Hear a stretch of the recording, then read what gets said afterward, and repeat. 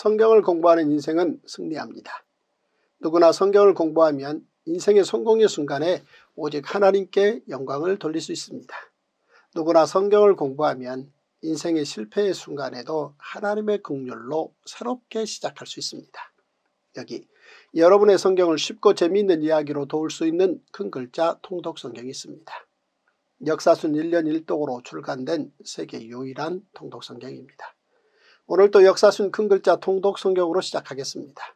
오늘의 굿뉴스 사무엘하 5장 6절에서 6장의 통습 5가지 포인트를 먼저 읽어드리겠습니다.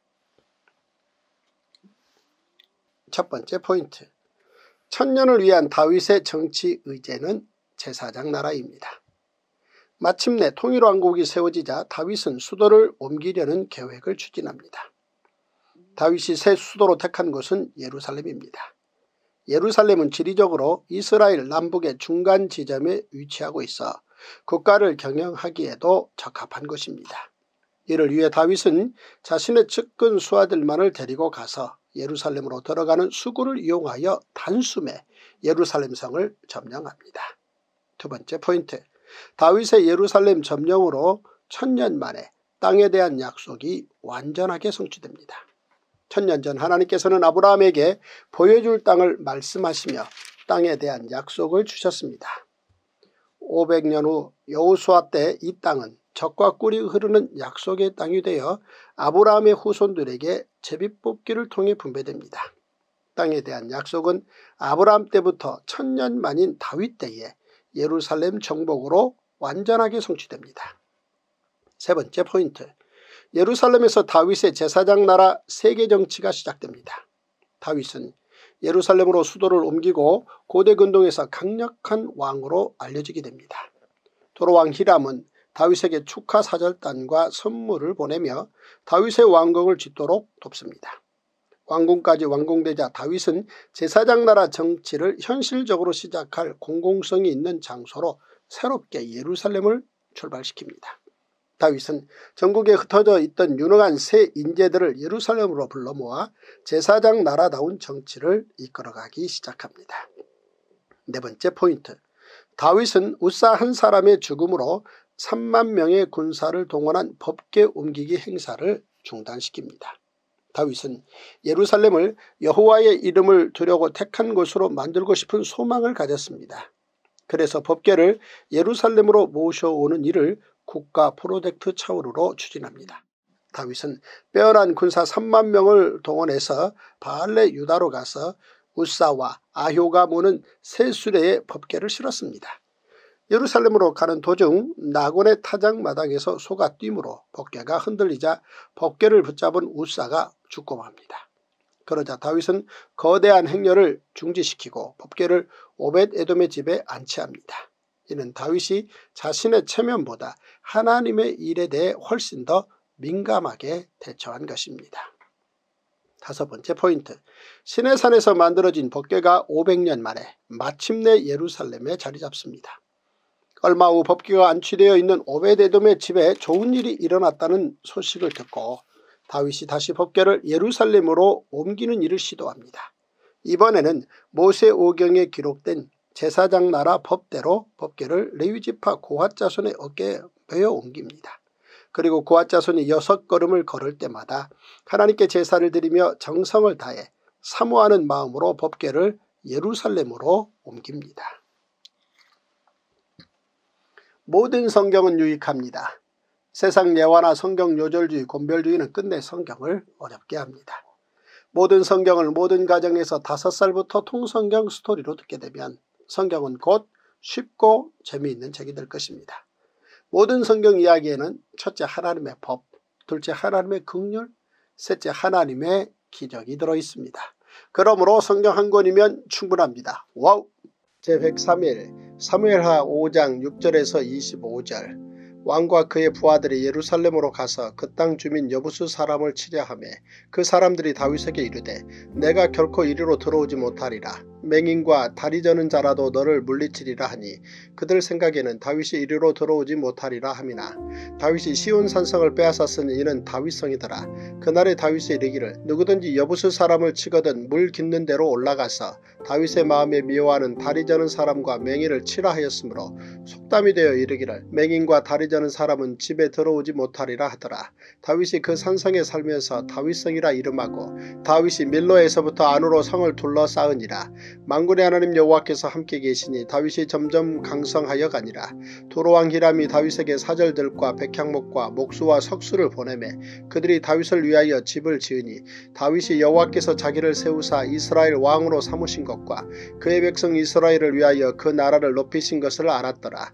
다윗이 헤브론에서 올라온 후에 예루살렘에서 처첩들을 더 두었으므로 아들과 딸들이 또 다윗에게서 나니 예루살렘에서 그에게서 난 자들의 이름은 삼무아와 소밥과 나단과 솔로몬과 이팔과 엘리수아와 네벡과 야비아와 엘리사마와 엘리아다와 엘리벨렛이었더라. 이스라엘이 다윗에게 기름을 부어 이스라엘 왕으로 삼았다함을 블레셋 사람들이 듣고 블레셋 사람들이 다윗을 찾으러 다 올라오며 다윗이 듣고 요새로 나가니라.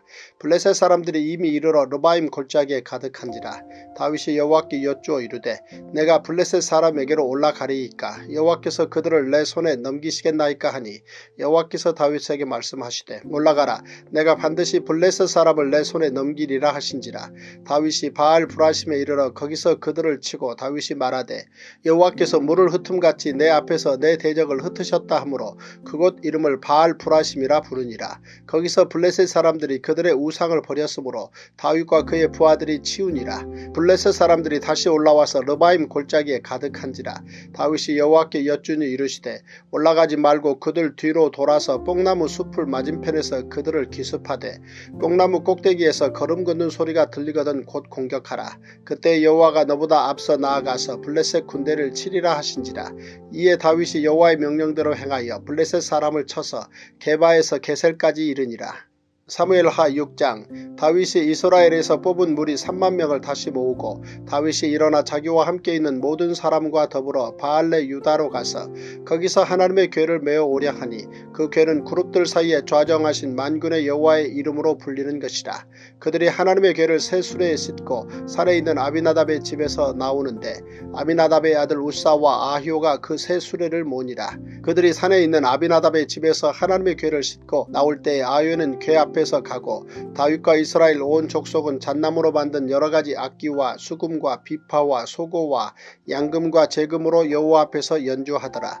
그들이 나곤의 타작마당에 이르러서는 소들이 뛰므로 웃사가 손을 들어 하나님의 궤를 붙들었더니 여호와 하나님이 웃사가 잘못함으로 말미암아 진노하사 그를 그곳에서 치시니 그가 거기에 하나님의 궤 곁에서 죽으니라. 여호와께서 웃사를 치심으로 다윗이 분하여 그곳을 베레스 웃사라 부르니 그 이름이 오늘까지 이르니라. 다윗이 그날에 여호와를 두려워하여 이르되 여호와의 궤가 어찌 내게로 오리오 하고 다윗이 여호와의 궤를 옮겨 다윗성 자기에게로 메어가기를 즐겨 하지 아니하고 가드 사람 오베데돔의 집으로 메어간지라. 여호와의 괴가 가드 사람 오베데돔의 집에 석 달을 있었는데 여호와께서 오베데돔과 그의 온 집에 복을 주시니라. 어떤 사람이 다윗 왕에게 아뢰어 이르되 여호와께서 하나님의 괴로 말미암아 오베데돔의 집과 그의 모든 소유에 복을 주셨다 한지라. 다윗이 가서 하나님의 괴를 기쁨으로 메고 오벳 에돔의 집에서 다윗성으로 올라갈새 여호와의 괴를 맨 사람들이 여섯 걸음을 가매 다윗이 소와 살찐 송아지로 제사를 드리고 다윗이 여호와 앞에서 힘을 다하여 춤을 추는데 그때 다윗이 배 에봇을 입었더라. 다윗과 온 이스라엘 족속이 줄거이 환호하며 나팔을 불고 여호와의 괴를 메어오니라. 여호와의 괴가 다윗성으로 들어올 때에 사울의 딸 미갈이 창으로 내다보다가 다윗 왕이 여호와 앞에서 뛰놀며 춤추는 것을 보고 심중에 그를 업신여기니라. 여호와의 괴를 메고 들어가서 다윗이 그것을 위하여 친 장막 가운데 그 준비한 자리에 그것을 두매 다윗이 번제와 화목제를 여호와 앞에 드리니라. 다윗이 번제와 화목제 드리기를 마치고 만군의 여호와의 이름으로 백성에게 축복하고 모든 백성 곧 온 이스라엘 무리에게 남녀를 막론하고 떡 한 개와 고기 한 조각과 건포도 떡 한 덩이씩 나누어 주매 모든 백성이 각기 집으로 돌아가니라. 다윗이 자기의 가족에게 축복하러 돌아오매 사울의 딸 미갈이 나와서 다윗을 맞으며 이르되 이스라엘 왕이 오늘 어떻게 영화로우신지 방탕한 자가 염치 없이 자기의 몸을 드러내는 것처럼 오늘 그의 신복의 계집종의 눈앞에서 몸을 드러내셨도다 하니 다윗이 미갈의 사울에게 이르되 이는 여호와 앞에서 한 것이니라. 그가 내 아버지와 그의 온 집을 버리시고 나를 택하사 나를 여호와의 백성 이스라엘의 주권자로 삼으셨으니 내가 여호와 앞에서 뛰놀리라. 내가 이보다 더 낮아져서 스스로 천하게 보일지라도 내가 말한 바 계집종에게는 내가 높임을 받으리라 한지라. 그러므로 사울의 딸 미갈이 죽는 날까지 그에게 자식이 없으니라